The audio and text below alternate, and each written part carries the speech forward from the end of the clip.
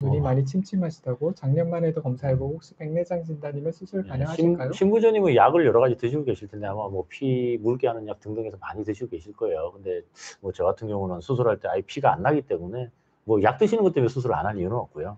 약 다 드시면서 수술하면 됩니다. 근데 당연히 89세시면 백내장이 많이 심하실 거예요. 아주 심하시고 오히려 좀 많이 늦어서 아까 말씀드린 대로 제가 고생을 하는 가끔 케이스들이 이제 이렇게 90세 다 되신 분 제가 100세도 해봤는데 아, 좀 힘들어요. 그래서 더 늦기 전에 빨리 하셔야 될 것 같아요.